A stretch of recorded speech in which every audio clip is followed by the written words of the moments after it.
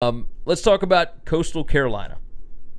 The Coastal Carolina Chanticleers, which is such a fun name. That's such a cool mascot.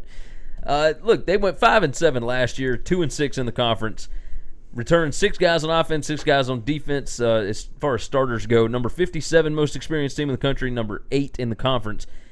Head coach uh, Jamey Chadwell. He was the offensive coordinator the last three seasons. Now he did coach the team as the head coach last year. Joe Moglia, fifty-six and twenty-two in the last six years that he was there. Uh, Chadwell was thirty-five and fourteen in four years at Charleston Southern, so he's got head coaching experience. Defense returns eight of ten leading tacklers, but it is transitioning from a four-three to a. And check this out. You're gonna love this.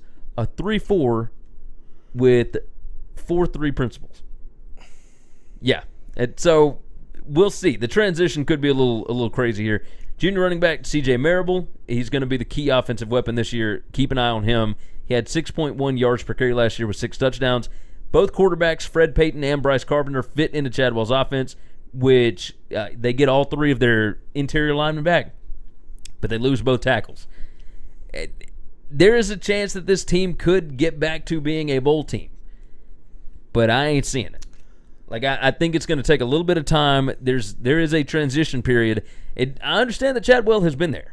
I got that, but new DC, changing up what they're doing on defense. Like I yes, we've talked about this in the past, where sometimes it's easier to transition on defense because your main goal is like just tackle the Stop guy, right? Yeah, you know. But I- I think with the offense and everything else, like it, now it's now it's Chadwell's.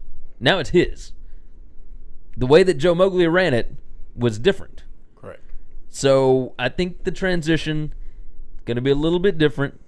Uh, they weren't exactly super successful last year, five and seven, uh, two and six in the conference. I think they take a little bit of a step back. What uh, what have you got them this year? So they finished five and seven last year. Correct. Correct. I got them four and eight. That's I got them exactly one what I've with- got 'em. Man, yeah. That's I've I've got them beating Norfolk State, uh, winning at UMass. Got them beating Georgia State, and I got them beating Texas State, and then losing to everybody. I mean, it's it's t- if you're not one of the halves in this conference, it's, it's difficult, right? So they they're out of conference schedule. Oh, Eastern Michigan at Kansas, like these aren't teams that most people would be scared of. Nope. Eastern Michigan is a good football team. That's right. Kansas with Les Miles, they're going to want to get that win. I, I have expectations of Kansas being Yes. better, and they're not going to win many conference games. They got to win. they got to get this one. Les And doesn't get beat by teams that aren't supposed to beat him. Right. He gets beat by teams that are supposed to beat him. Exactly. So, uh, but then you've also got at App State, at Georgia Southern, Troy and Louisiana come in, at Arkansas State, hard. at Louisiana Monroe. I don't know where you find the wins. The the coaches in this conference are good. They Yeah. really there really is some really good young coaching in this conference. yeah, I, I do agree with you. So and, we, and I and I say young because none of all the guys are real young, but they, they have been coaching head coaches forever. But Yeah. man, these guys they're not afraid to play anybody. no, you're you're right They about all are that. very confident in their style of football.